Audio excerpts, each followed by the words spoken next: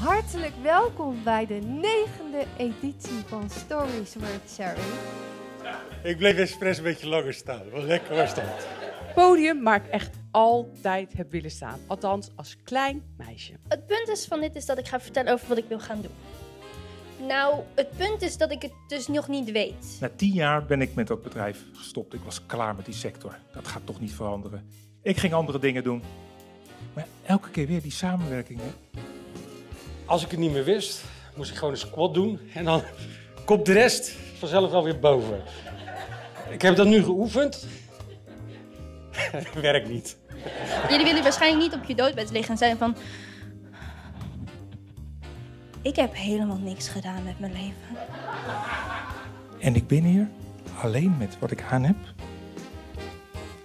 En met een jerrycan water en een warme deken. Ja, soms wordt het echt wel donker en dan is de zon weer weg. Komen er beren, monsters. Dus ik maak die keus. Ik kies ervoor om niet meer onzeker te zijn.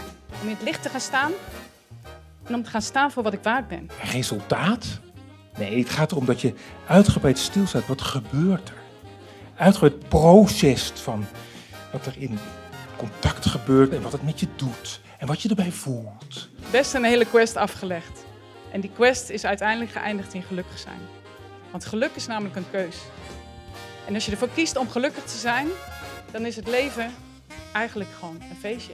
Nog één keer een super groot applaus voor alle sprekers die hun wijze best hebben gedaan.